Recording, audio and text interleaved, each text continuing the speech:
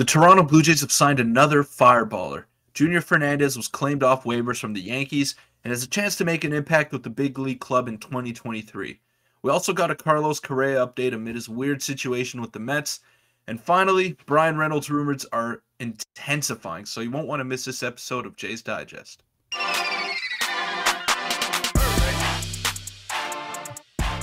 What's up, Jays fans? I'm your host, Peter Vryonis, alongside host Nick Gosse. A lot to get into today, but first I want to give a shout out to Team Canada for winning the World Junior Championship, and a shout out to Damar Hamlin as well, who's doing a lot better and uh, he's starting to communicate with his teammates and his family. So uh, good for him, and glad to see that. But we want to thank you all for the support that we've been getting.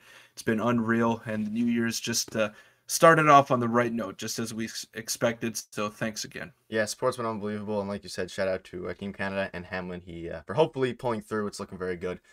But let's get it. Let's get into the first topic today. Make sure to hit the subscribe button if you enjoy the daily Jays content. We have a lot more coming for you this off season. But let's get into the first uh, topic, which is Blue Jays signed Fireballer. They signed another one. I know we signed one a few days ago. This guy, uh, he doesn't throw quite as hard, but we have tons of screenshots to show you for him. So I'll just get into the first one. This is the original. Uh, the Blue Jays have claimed um, reliever Junior Fernandez from the Yankees. He joins a fringe bullpen depth group that is finally leaning more towards velocity and upside. Eventually, one will hit. I have a lot more screenshots to show you. Peter, what are your initial thoughts on uh, on that? First of all, shout out to Keegan Matheson, really yeah. good Blue Jays reporter. I love I love the work that he does, whether it be on Twitter or on his website over there. Uh, but yeah, he's right. I mean, uh, not to be confused with Julian Fernandez, who the Jays signed not too long ago. Uh, I actually thought they were brothers at first. They look uh, they look pretty similar. I, I don't know why I thought that, but yeah, Junior Fernandez. I remember he started a game against the Toronto Blue Jays where he came in relief, and uh, George Springer hit a grand slam off him. So that's that's what I remember Junior Fernandez from. But he does throw hard. That pitch that Springer drove out to deep uh, left center was 99. It was down the middle, but uh, if he can find his control and really hone in his secondary pitches, and just like Julian Fernandez, he's got a chance to make an impact at the big league level. Yeah, and he also, uh, I think I might have a clip of him. I'm not 100 percent sure, but he also struck out Vladdy with, I believe, a fastball or a sinker as well. That was going around Twitter. But there you go. I'll pop up a few screenshots. a lot of people had things to say. This is from Thomas Hall, another Jays writer. Said for those asking about Julian or Junior Fernandez's four seamer, it grades extremely well and is easily his best weapon. But he only threw it 12.6 percent of the time in 2022, which is super strange. And then there was another, uh, this is from another guy on Twitter saying he's just 25 years old, averaged 98.8 miles an hour in 2022, and didn't give up a single hit off of it. He'd be best served to ditch his sinker and be a primary fastball slider changeup. Another very interesting lottery ticket bullpen arm that throws gas. And before we uh, get in further, I'll show you guys a few clips of what he has to work with here in case you haven't seen it. So obviously 101 mile per hour uh, fastball there from him. And then we also have this here, another fastball. And then we have, yeah. of course, his uh, this one's uh, I think this one might be a slider or a changeup. But either way, he has a lot of good tools it's just he has to put them together. And uh, an interesting topic that I don't know if I have a screenshot for, but the Blue Jays bullpen is full. And if he wants to make the team, we can't send him down. So he just needs to be in the bullpen. Yeah, exactly. And uh, another thing that you see a lot with the Toronto Blue Jays is that they're very analytics driven in their pitching. They uh, they want you to throw your best pitches as much as possible. And I'll use Kevin Gausman as an example. Uh, he started throwing his slider a lot less and his splitter a lot more in San Francisco. Uh, and once he got to Toronto, that elevated even more. His main problem with uh, the Baltimore Orioles was that they didn't want him throwing splitters. They wanted him throwing his slider for strikes to use it as a strikeout pitch. And that's why he was getting hit hard. I mean, he's a bit of a late bloomer. He started to figure it out once he was 29 years old in San Francisco. And that trend has continued as he got to Toronto. So, uh, I have confidence in Pete Walker and just the pitching staff in general uh, that they can really hone in on what's working for them and what's not working for them, and then really use that to their advantage. If your best pitch is your fastball and you're throwing it 12% of the time, that's just not good enough, you know. And someone's got to tell him, someone's got to be in his ear that hey, you got to throw this pitch some more. And maybe the teams that he was with uh, just didn't really feel invested in his development or or didn't feel like taking him on as a project. So the Blue Jays seem to want to do that, and and want to hone in his uh, his best pitches. Yeah, and he, like I said earlier, he's out of options, so clearly they see something in him, or they're just you know a lottery, but they cannot send him down. So I don't know. They're changing their uh, mentality, a lot more fireballs. A couple more screenshots before we move on to the next topic. As recent as 2019, he posted a 1.52 ERA and 65 innings pitched across three levels of the minor league, and he's just 25 years old. So of course that bodes well. And then finally, his baseball savant. It doesn't have the uh, a lot of the advanced stuff, but you can see 98th percentile velocity with uh, 99 average mile per hour in the fastball, and his changeup is 91. So he throws absolute gas. It'll be interesting to see what the Jays do with him, and maybe he breaks camp with the team and hopefully, you know, I guess could do well in the bullpen going forward. But we'll see what happens on that. And let's move into the next topic now, which is a uh, kind of pertains to the Blue Jays in the sense of it's a huge, huge player. And uh, so I'll pop up a screenshot here now. Obviously, you guys, I'm sure you guys have heard about the news from the Mets, from the Giants, even hopping around. But Carlos Correa update from Jim Bowden. The Twins are back in. There's a possibility that the Minnesota Twins come in and pick Correa out from under the Mets' noses. Now, we do have another update, which I'll show you in a second. But what are your thoughts on the Twins maybe being back in there as a potential suitor. This whole situation is so weird, Nick. Like I, I don't even know what to make of it anymore. He was he was a San Francisco Giant for one week.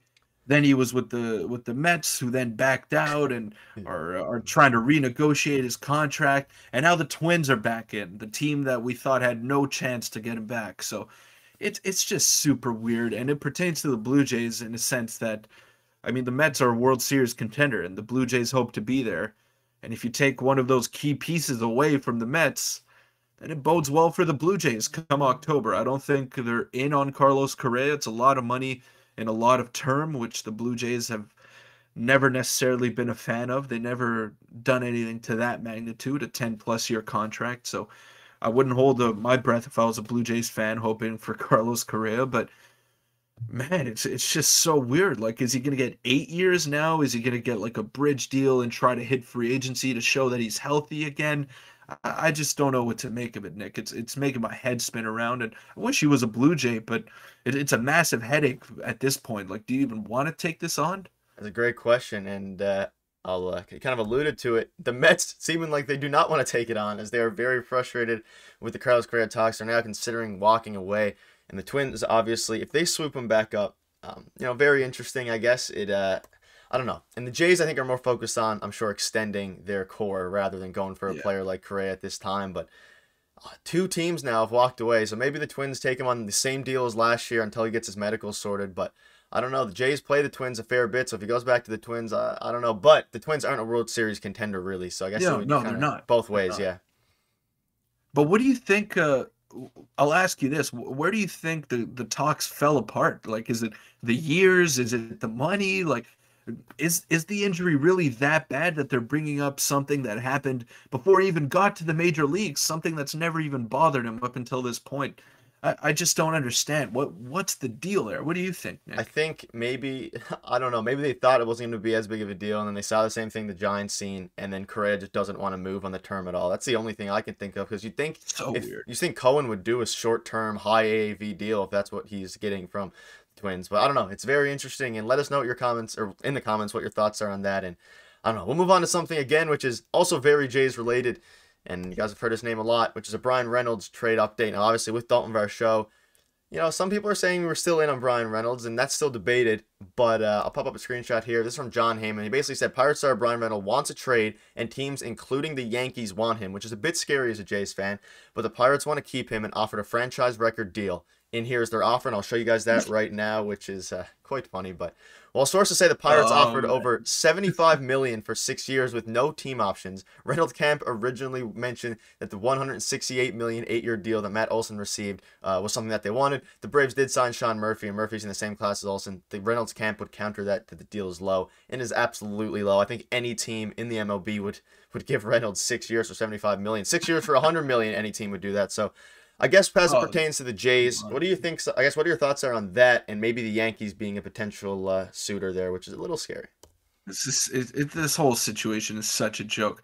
The Pirates, oh yeah, we don't want to trade you. We will do whatever we can to keep you. Here's six years, uh, seventy-five million. Here's less money and and one more year than uh, Andrew Benintendi just got from the Chicago White Sox. Yeah, yeah, that makes sense for a guy who had six wins above replacement in uh, in 2021. It's just it's ridiculous. The Pirates uh, are making a mockery out of this Bryan Reynolds situation. I hope he doesn't go to the Yankees. That would be that would I think that would put them over the top, and that would make them the favorite in the American League. Um, they just got Carlos Rodon.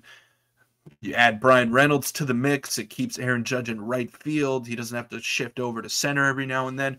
Makes them a much better ball club. So this whole situation, it, it's just another, it's just another thing that it's like, wow, what what the hell's going on here? And and you look at it, and I don't even know who's the best suited to make a Bryan Reynolds trade, uh, considering the Pirates want so much for him and won't even offer him fifteen million dollars a year. That's that's also crazy to me. Hopefully not the Yankees, because that could have a major uh, major impact on us.